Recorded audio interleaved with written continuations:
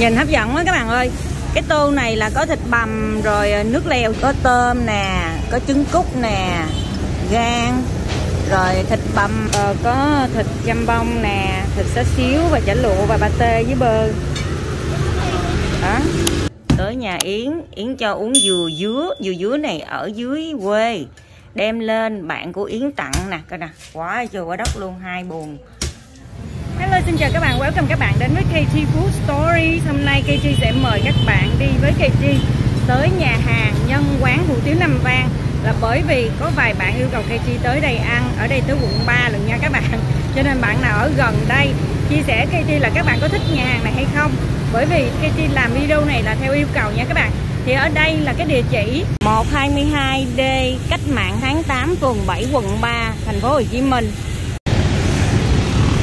con đường ở đây là ngay chỗ cái ngã ba rất là nhộn nhịp, đông đúc lắm các bạn ơi. Trời, hôm nay là nãy mình đi là mình bị bắt mất mưa. Mưa quá trời mưa luôn. Mà để mình quay cái không gian quán cho các bạn. Đó, buổi tối ở đây đông nghẹt luôn. Mỗi lần mình chạy đi ngang đây, tại mình phải đi xuống quận 1 á lúc nào mình cũng đi ngang ở đây đó từ nhà mình đi ngang ở đây. Xong rồi là mình thấy đông nghẹt luôn, rồi có bạn nói là, ồ, chị nhớ đi tới đây ăn nha. Cho nên là hôm nay mình hẹn với yến nè. À yến hai lâm? Hôm nay hẹn với yến đi ăn. Nhà yến cũng, nhà yến cách đây sao? Ủa, có 10 phút à hả? Trời ơi cái chi đi một tiếng đồng hồ. Ủa gì à đem từ bên đó về luôn hả? Ủa? Ủa vậy hả? Mua được đây hả? Cái này là trái tầm bóp. Tầm bóp à đúng rồi. À. đây là cái menu người ta có ờ, rau má dừa. Lúc này là mình mê rau má lắm. Nhân quán sài gòn hủ tiếu khô hủ tiếu nước. Chắc mình ăn yến ăn nước hay khô? Khô hả? Thôi chắc ăn khô luôn quá à. ha ờ yến ăn nước hả? Để, để mình làm món nước cho. À hủ tiếu mì luôn hủ tiếu mì ờ. Hủ tiếu mì khô. Đúng rồi mình ăn khô thử coi. Rồi mình ăn thử cái nước lèo. Tại vì người ta có cho mình cái chén nước lèo á. Mình tính kêu một tô xí quách mà ở đây người ta không có bán xí quách các bạn ơi. Cái này là mấy em đang ờ, nấu hủ tiếu ở trong đó đó.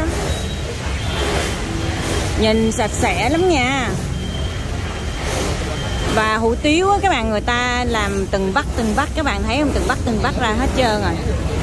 Là tô nào cũng đều với nhau hết.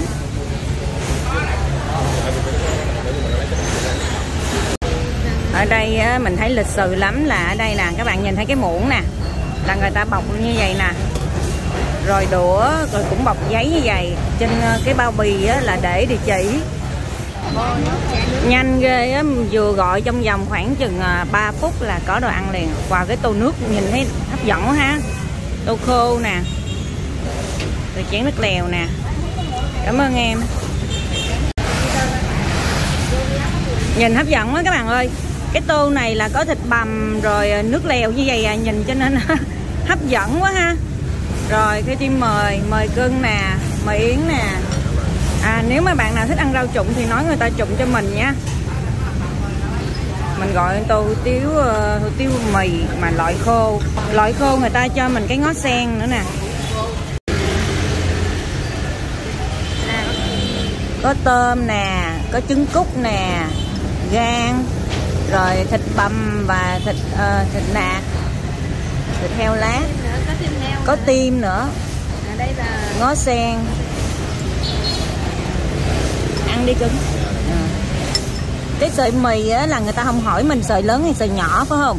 Người ta đem, đem ra có sợi nhỏ rồi sợi lớn luôn. Cái này hủ tiếu chứ. Ủa cái đó hủ tiếu hả? Ờ đúng rồi đúng rồi. Trời người ta đòi trộn cái sốt vô luôn rồi cho nên mình nhìn mà không không ra luôn. Mà cái sợi hủ tiếu của người ta nhìn nó khô queo à ha nhìn nó giống như sợi mì. Hủ tiếu nam vang này không có mực. Ờ. à. đâu nhưng mà thịt rất là nhiều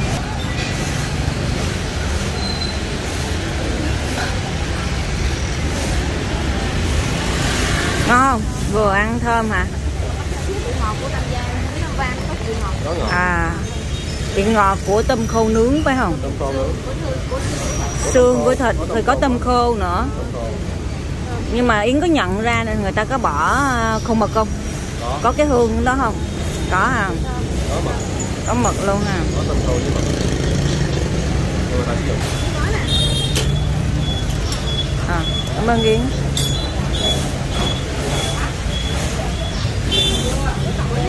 Ờ, không cây riêng ăn tỏi. Mà tiếc một cái là sao mình lại không có thấy tấp mỡ ha?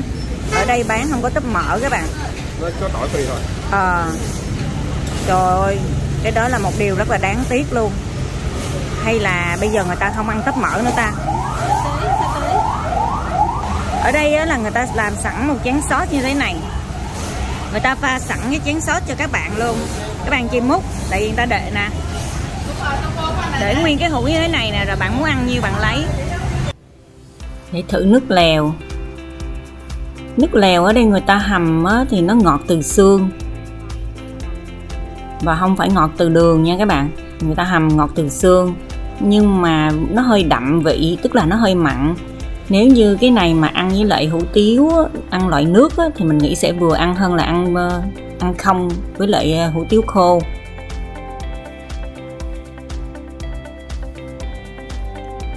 Cái nước sốt của hủ tiếu mì khô mình thấy ăn cũng được nhưng mà cho một tí xíu giấm vô thì nó sẽ ngon hơn nó sẽ thơm hơn.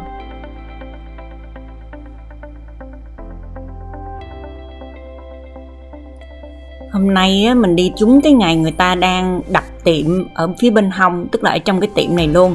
Người ta đang sửa sang gì ở cho nên nó rất là ồn phải nói là cực kỳ ồn luôn đó. Ở trong đây á, người ta trộn cái nước nước sốt á, có, có mỡ heo nữa các bạn.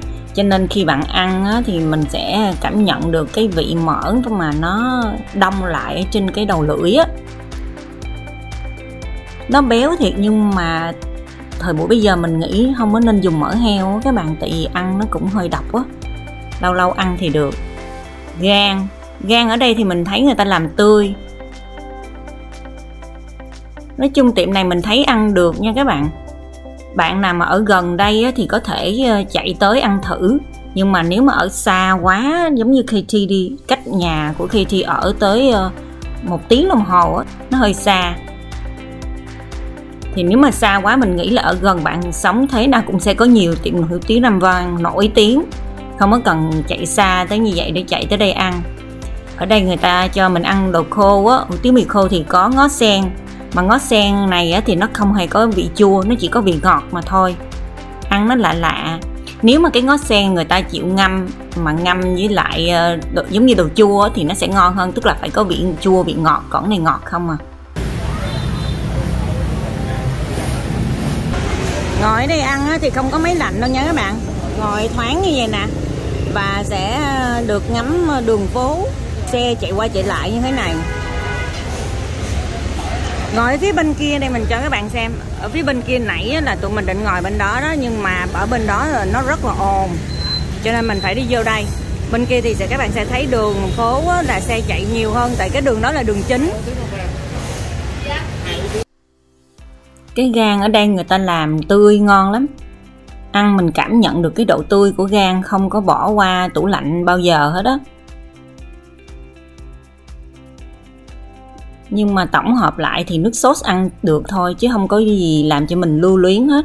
Nước sốt trong đây thì người ta làm cái dạng là nước sốt khô, không có nhiều nước sốt mà cũng không có bột năng nha. Cái dạng giống như là chỉ là xì dầu, trộn xì dầu và nêm nếm gia vị thôi, không phải là dạng loãng.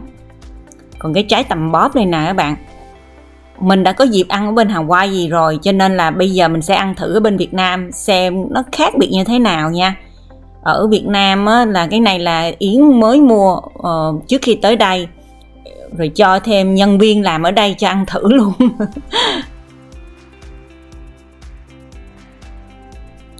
Cái cảm nhận đầu tiên của mình khi ăn trái tầm bóp ở đây á, là nó rất là chua.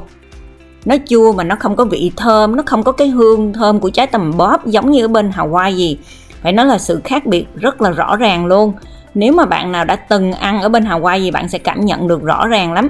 Mình uh, chưa có dịp ăn ở bên ờ, uh, Nam Cali các bạn. Khi mà mình ăn vô á nó chỉ có bị chua thôi và bị ngọt rất là nhẹ ở bên Việt Nam nha. Còn ở bên Hawaii gì thì nó có cái hương hương rất là đậm vị gọi là nó lạ lắm. Nó thơm mà nó ngọt mà cái vị chua nó ít ăn một lần mình nhớ suốt đời luôn, kiểu vậy đó, rất là ngon. Còn khi mà tầm bóp ở Việt Nam mình ăn thì nó lại lấy, thấy nó nó chỉ có chua thôi. Nếu các bạn để ý thì những cái trái cây ở bên đảo Hawaii gì các bạn, đảo Big Island là nơi mà Yến sinh sống và có cái vườn trái cây ở đó đó, đất núi lửa. Cho nên là nó tạo ra một cái um, cái hương vị khó diễn tả lắm. Ăn nãy giờ mà còn tôm thịt quá trời mì thì hết. Giờ này là các bạn còn thấy như vậy phải không? Nhưng mà nó chỉ còn trống vài bàn thôi. Còn buổi tối á, mỗi lần mình chạy qua là đông nghẹt luôn. Cảm ơn Yến và Lâm. Nay đi ăn chung với Katie nha. Và mời Katie nha. Mình mời Yến với Lâm đi. Ai ngờ bị mời ngược lại. Rồi bây giờ mình đi ha. À. à. các bạn ơi và bây giờ mình sẽ đưa các bạn đi ăn chè. Cái tiệm chè này á, thì ờ, em Lâm nói cũng ngon lắm cho nên mình sẽ đưa các bạn đi review luôn.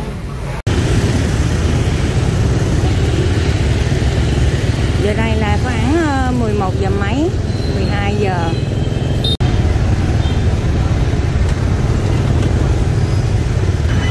Giờ này mà sao kẹt xe quá trời luôn. Đâu phải giờ đi học đâu hả? Ờ giờ đi học á hả giờ này 12 giờ 15 phút mà sao mà kẹt quá vậy trời? Giờ đó vô học ồ. Wow cái chùa đẹp quá à. cao dữ giờ luôn nè. Đó cao thì cao luôn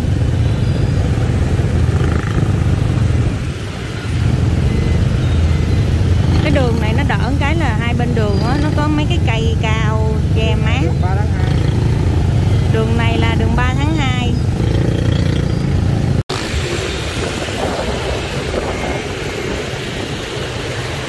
đường này đỡ kẹt hơn nàng Nguyễn Tri Phương.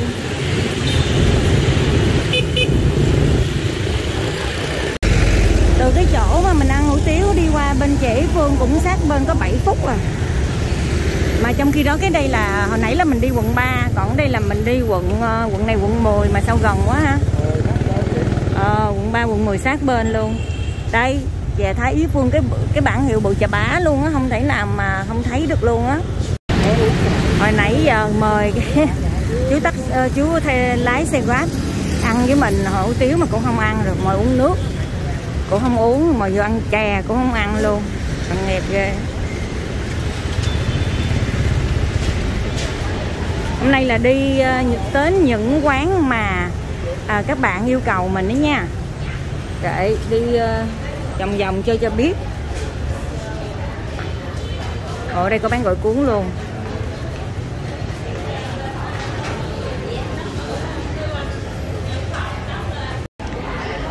Ngoài chè ra mình thấy người ta bán quá trời món món mặn nè gỏi cô bò đu đủ tôm ba khía rồi tôm gỏi cuốn tôm thịt bánh bột lọc hới cái gì cũng bán luôn ha tàu hũ sầu riêng sữa tươi chè thái phương. Và chè thái mà 33 ngàn một ly nha các bạn. Thấy cái chi biết rồi bây giờ mình biết giá rồi đó tại vì hôm bữa mình mới đi ăn chè thái ở Hóc Môn là 25 ờ, 30 ngàn. Cái này 33 ngàn ờ, cũng sẽ nó cũng gần gần với nhau nhưng mà ở đây là tại vì ở đây là thành phố các bạn. Cho nên giá cả vậy thì có phải là cũng ok không phải không? Vậy cho mình gọi ba ly chè thái ha. Hay là em muốn ăn gì? Đây kem, đây có kem nữa.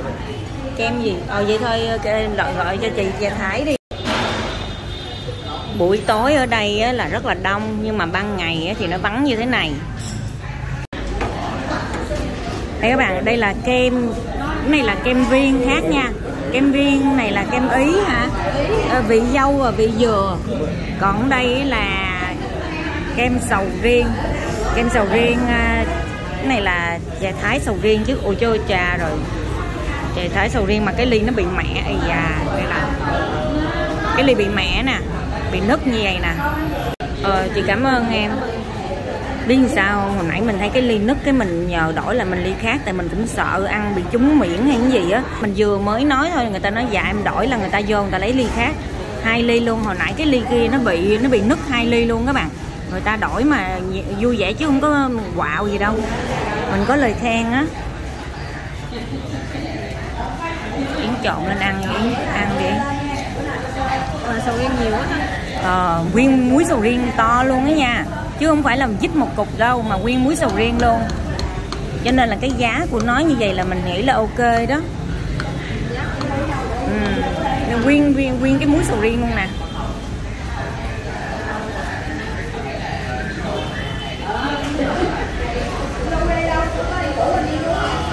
Ngon không miếng Ngon mà nó ngọt quá. chết cha rồi vậy hả? Không sao, chè là phải ngọt rồi. vậy hả? Vậy biết ngày nãy mình kêu ít ngọt ha đúng rồi. chè là phải ngọt Chè là phải ngọt mà tại Yến ít. ờ ở đây ngọt hả Yeah. Ok. ok hả để, để, để, để thử coi à. nhưng mà có thể là cái sầu riêng á nó nó quá ngọt đi cho nên là yến ăn không có được phải không à. đây nè mời các bạn nha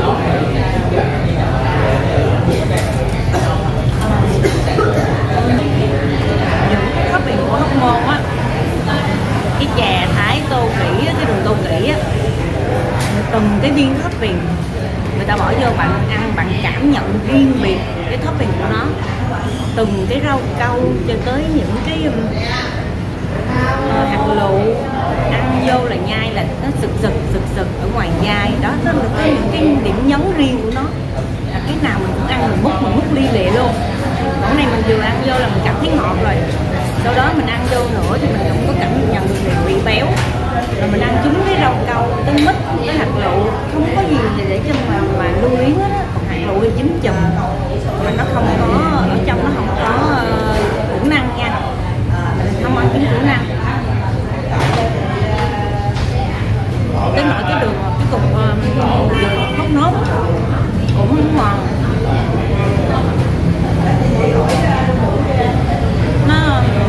nó dài. Nó hơi ờ, nó hơi bở.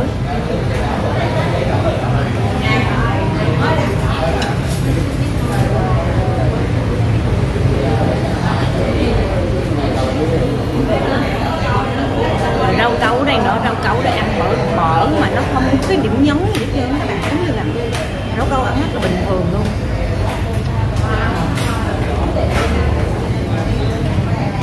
Tới nỗi cái trái nhãn bên kia mình ăn một cái gì nói chung cái này thì xa mình đi luôn. Á xin lỗi nha. Mình review một lòng luôn á. Mình review tỉ mỉ cho các bạn biết tại sao mà nó luôn xa luôn như vậy á.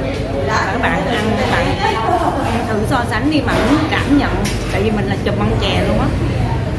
Bạn muốn cảm nhận thật sự á, bạn mua hai cái ly ngồi hai ngồi xuống ăn đi hai ly là các bạn sẽ cảm nhận riêng biệt luôn rõ ràng luôn lỗi cái chè thái ở hóc môn á, mình ăn ly xong cái mình muốn gọi thêm ly nữa, nhưng mà no ná thở rồi ở nhà mình cản mình nói no quá thôi được ăn khuya rồi các bạn. Nhưng ăn nãy giờ ăn hết mà nó ngọt quá bỏ đá vô rồi vẫn còn ngọt. Mình đã đọc review, mình đã thấy rất là nhiều bạn nói mình là chè đây rất là ngọt.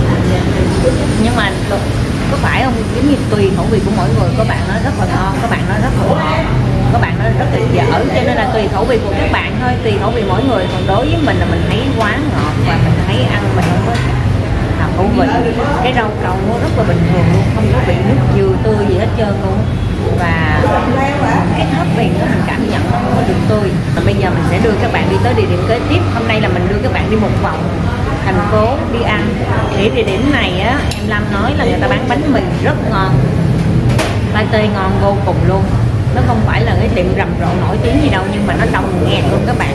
Và bây giờ mình mời các bạn đi với mình nha.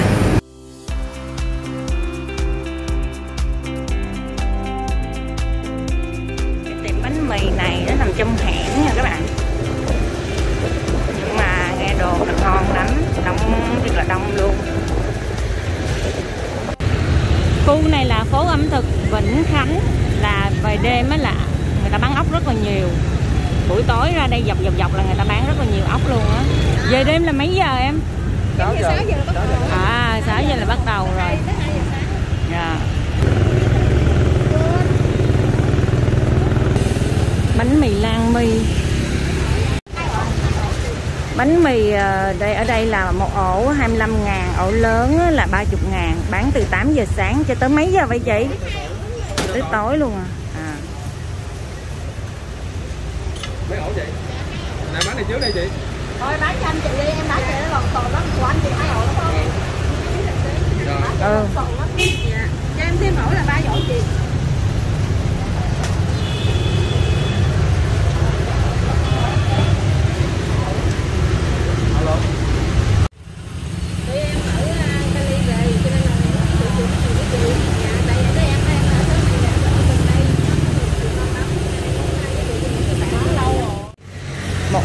20 ngàn nó nhìn như thế này ha.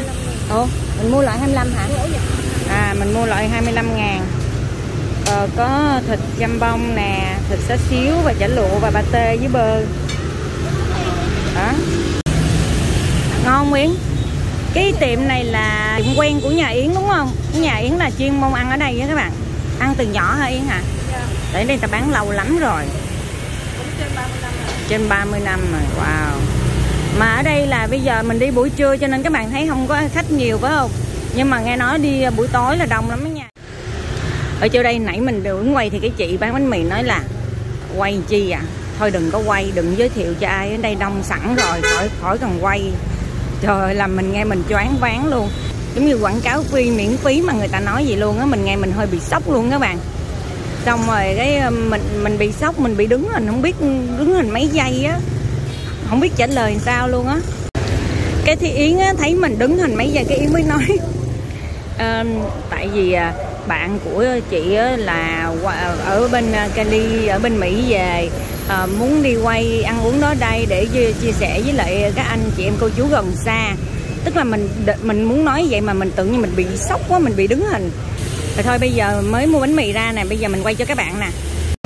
Mình mới mua thêm 5 ngàn chà bông bỏ vô đây rồi mình nhờ các ra luôn chứ để nguyên ổ khó cắn các bạn. Mời các bạn nha.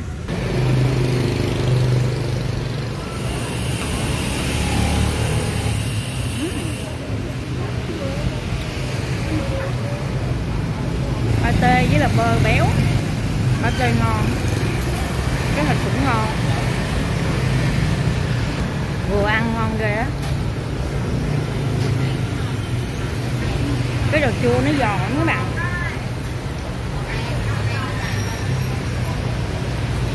đồ chua ngon. Chua chua mãi giòn.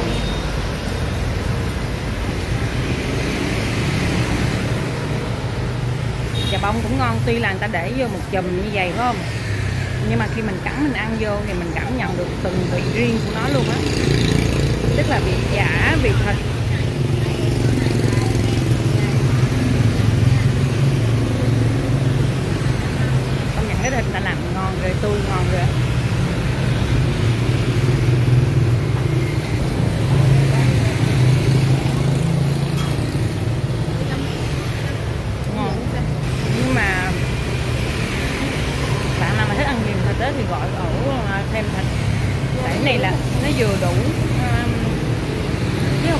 nhiều nha.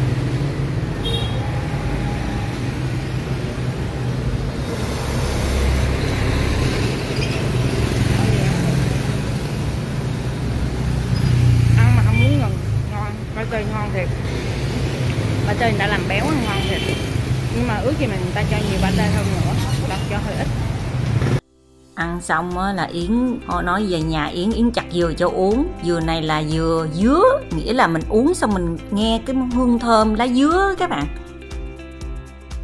Ở dưới quê á, người ta tặng cho yến nè. Đem lên bạn của yến tặng nè. Coi nè quá chưa quá đất luôn hai buồn. Mà hả? có buồn nó nhiều lắm nha. ờ. 2 4 6 8 10 12 khoảng 15 á. 15 trái một buồn mà uống ha lần đầu tiên mình uống dừa dứa mà mình nghe nó thơm mùi lá dứa. Hôm bữa đi vô trong uh, Ion Mo mình mua thử các bạn nó không hề có cái mùi dừa, lá dứa các bạn. Trời ơi mà nó thơm lắm các bạn ơi.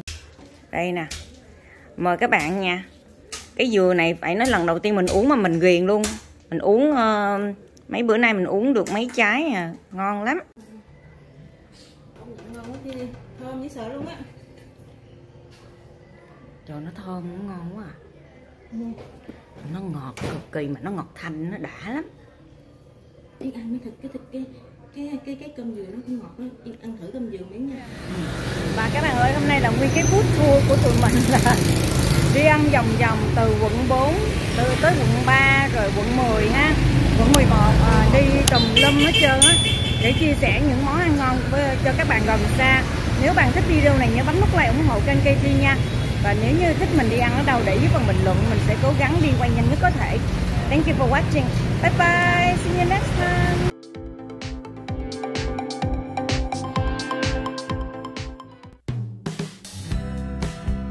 Mình cảm ơn các bạn đã xem và ủng hộ mình trong những thời gian qua. Mình chúc các bạn một ngày vui vẻ, an lành và hạnh phúc. Nếu các bạn thích video này mà chưa có subscribe kênh của mình, xin hãy bấm nút subscribe, like và share, chia sẻ với gia đình và bạn bè nhé Ờ, ở kế bên cái nút subscribe nó có một cái chuông. Nếu mà bạn bấm vào cái chuông đó thì nó sẽ thông báo cho các bạn biết mỗi khi mình lên một cái video mới đó. Thank you for watching. Bye bye. See you next time.